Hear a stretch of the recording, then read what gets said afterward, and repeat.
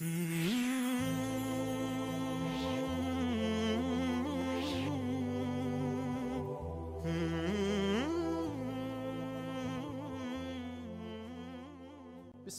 الرحمن الرحيم الحمد لله رب العالمين والصلاة والسلام على رسول الله ومن تبع بالإحسان إلى يوم الدين In the name of Allah, the most merciful, the bestower of mercy. See, I ask Allah, the Most High, to send peace and blessings upon Prophet Muhammad and whoever follows Prophet Muhammad in good deeds until the day of resurrection. Assalamu alaikum wa rahmatullahi wa barakatuh. Now, in this sitting, I'm going to go through a booklet by the name of 10 Matters Which Invalidates a Muslim's Religion or Islam. Now, kindly follow follow me in this or in these sections. 10 things that are extremely important that we keep in mind in our daily basis of life. Bismillah. The first one is shirk. This is when someone ascribe a partner or partners to Allah the Most High, even though He is the only one that created you. What's the proof of this? إن الله لا يغفر أن يشرك به ويغفر ما دون ذلك لمن يشاء. Indeed, Allah doesn't forgive that you ascribe partners to Him. However, He forgives anything other than that to whoever He wishes. And also, the Most High, Allah Azza says in another verse, إنه من يشرك بالله فقد حرم الله عليه الجنة ومأواهم النار وما للظالمين من أنصار Verily, whoever sets up partners with Allah in worship, then Allah has made paradise forbidden upon him, and the hellfire is his abidance. There will be no help for the oppressors. And may Allah keep us away from the fire. Oh Allah, keep us away from the fire.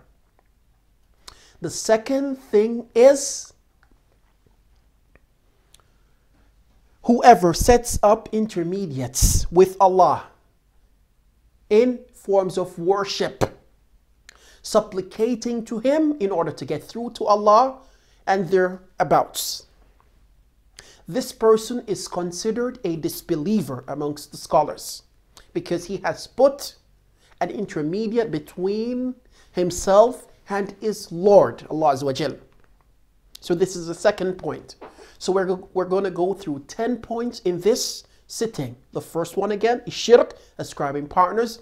The second one is putting intermediates between oneself and his Lord, Allah Azza So whether he puts a saint or whether he puts a so-called righteous person within between his connection with his Lord, so he invoke that person instead of Allah Azawajal in order to get to Allah, this is considered a shirk and it takes him out of the fold of Islam.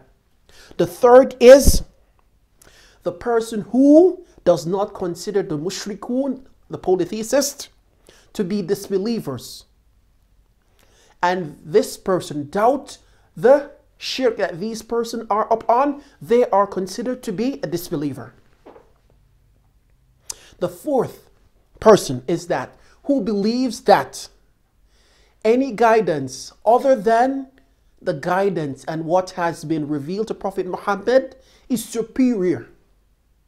So one believed that Prophet Muhammad's way of life and the religion that had been revealed to Prophet Muhammad is of an inferiority. So he takes other than that. This person is considered to be a disbeliever. He believes the religion of Allah Azza wa Jal, and he puts in the highest rank guidance other than Allah Azza wa Jal. This person is considered to be a disbeliever. And that's the fourth. The fifth is the person who hates anything that Allah Azza has revealed to his messenger or what the Prophet has done. Even though this person does the action.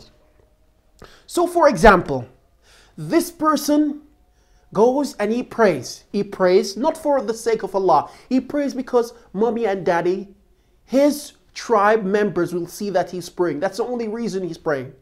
But deep down, he hates the religion. This person is considered to be a disbeliever. The sixth is the person who mocks anything in the religion. Anything that the Prophet ﷺ has been given to the people as a way of act of worship and, and a way of act of life, and he goes about and he mocks these things, he is considered to be a disbeliever. What's the proof for this? Allah says in His book, قل أبي الله وآياته ورسوله كنتم تستهزئون لا تعتذروا قد كفرتم بعد إيمانكم Say, was it as at Allah, His signs, His messengers that you used to make a mockery of? Do not make any excuse. Indeed, you have disbelieved after your Iman. And that's the sixth. The seventh is magic, sorcery. Using sorcery to make, using sorcery generally, and also to make someone love another through doing sorcery. So, they go and they go to the witchcrafter, they go to magician, and they believe in this. And they believe in sorcery so much. What's the proof for this? The evidence is a saying of the Most High. وما يعلمان من أحد حتى يقولا إنما فتنة فلا تكفر They, the two jinns, would not teach this to anybody except saying, We are only a trial, so do not disbelieve. The eighth person is one that supports and help, sincerely help the mushrikeen, the polytheists, over the Muslims. So he attempts dearly, sincerely, to help the disbelievers to destroy the Muslims this person is considered to be a disbeliever. What's the evidence for this? وَمَن يَتَوَلَّهُم مِّنكُمْ فَإِنَّهُ مِنْهُمْ إِنَّ اللَّهَ لَا يَهْدِي الْقَوْمَ الظَّالِمِينَ And whoever hold, wholeheartedly support them and take them as friends, meaning the mushrikeen and the person that go against the, way of Allah, surely from among he, surely he is from amongst them. Verily, Allah does not guide the oppressive people. And the ninth is whoever believes it's permissible for someone to be outside of the Sharia. So the, the way of the Prophet ﷺ is a way, and he chooses to go against that way, other than the way of Prophet Muhammad ﷺ, according to his own desires. So um, just as it was permissible for Khudr to be outside of Sharia and Muslims, this of, of Musa, this person is considered to be a disbeliever. So he believes deeply that the Prophet way is one way, but I choose to go another way. And it's permissible for me to do this. The tenth is completely turning away from Allah Azza wa religion by not learning it and not implementing it within his life, his or her lifestyle. What's the proof for this? Allah, the Most High, says, ومن أظلم ممن ذكر بآيات ربه فأعرض عنها ونسيه ما قدمت يداه. قل ومن وقل ومن أظلم ممن ذكر بآيات ربه ثم أعرض عنها. إنا من المجرمين منتقمون.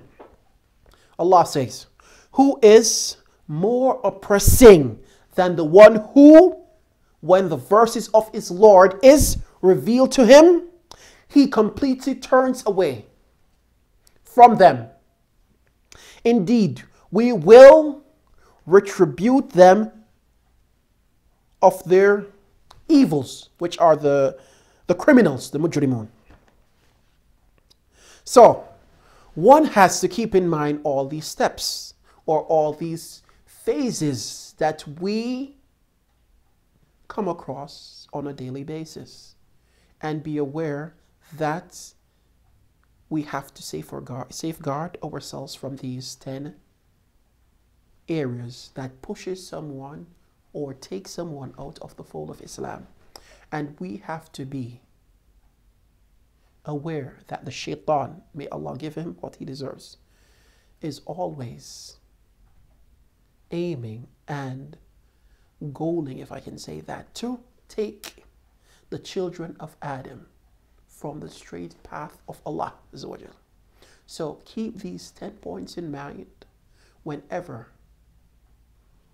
you are living your life, whenever you do an action. And know that Allah is above and He knows what you're doing and He knows what's in our hearts. So I ask Allah the Most High to keep us firm upon this overwhelming religion of Islam and let us be strongholders of the Sunnah of Prophet Muhammad and follow the understanding of the pious companions until we meet our Lord, the Most High. Thank you for listening. والحمد لله رب العالمين والصلاة والسلام على رسول الله. السلام عليكم ورحمة الله.